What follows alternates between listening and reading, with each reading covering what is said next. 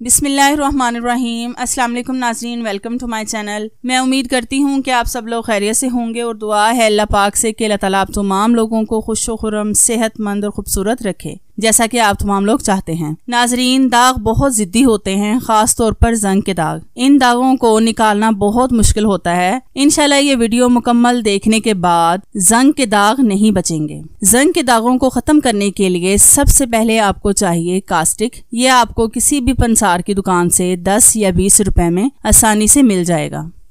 लेकिन एक बात का आपने खास ख्याल रखना है, इसको इस्तेमाल करते वक्त आपने अपने हाथों पर ग्लव्स लाजमी पहनने हैं, वरना आपके हाथ जल सकते हैं। इसलिए ग्लव्स का इस्तेमाल लाजमी करें। मैं ऐसे ही वीडियो नहीं बनाती। पहले मैं खुद इसे प्रैक्टिकली करती हूँ और फिर आपसे इसे शेयर करती हूँ, ताकि आपको भी इनसे फ़ायदा हासिल हो। तो सबसे पहले हम इस बाउल में ऐड करेंगे पानी, एक गिलास और फिर हम इसमें डालेंगे कास्टिक वन टेबल स्पून इसको एक दो मिनट के लिए ऐसे ही छोड़ दें। ये मैं आपको समझाने के लिए थोड़ी सी मकदार में बना रही हूँ।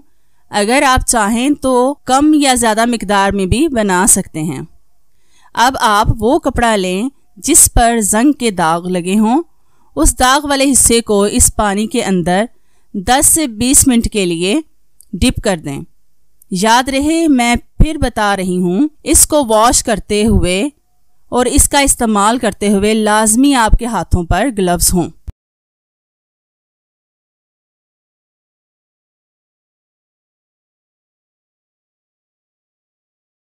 दस से पंद्रह मिनट हो गए हैं, मैं कपड़े को बाहर निकाल लेती हूँ। मैंने इसको बाहर निकाल लिया है।